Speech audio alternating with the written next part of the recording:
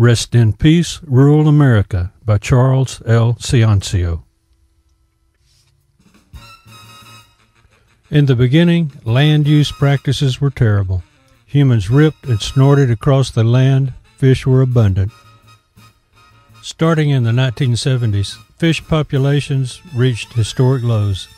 Heavy handed, poorly developed, and poorly administered land use restrictions were applied, and rural folks suffered.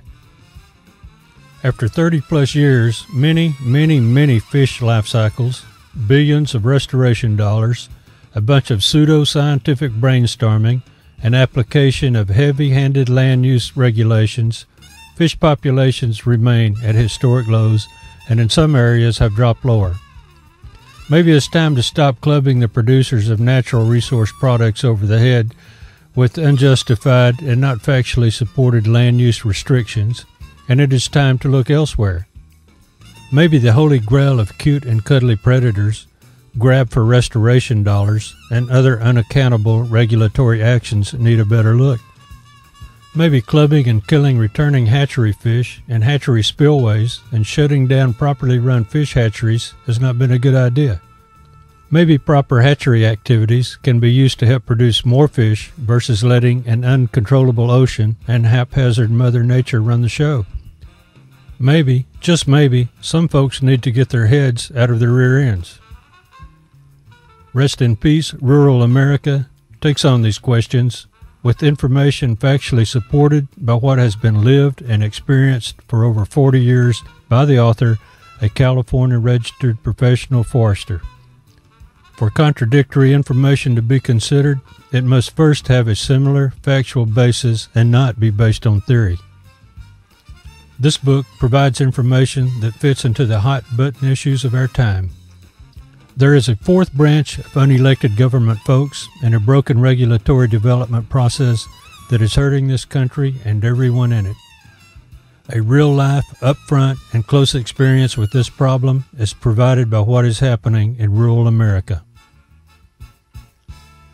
As a rich country, it has been easy for us to accommodate inappropriate environmental and regulatory thinking, to ignore how the use of natural resources affects us all, and to make use of natural resources an even smaller part of our economy.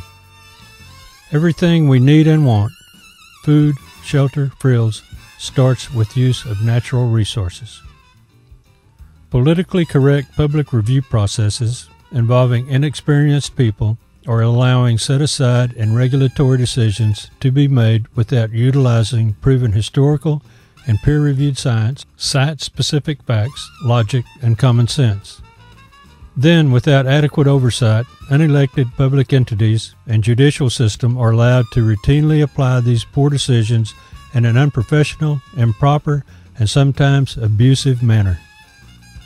The result is inappropriate and unjustified lockup of natural resources, inability to maintain in country manufacturing infrastructure, destruction of rural communities dependent on production of natural resource products, loss of middle class jobs throughout the country, destruction of the middle class throughout the country, increased dependence on imports of all kinds, often detrimentally produced in third world countries.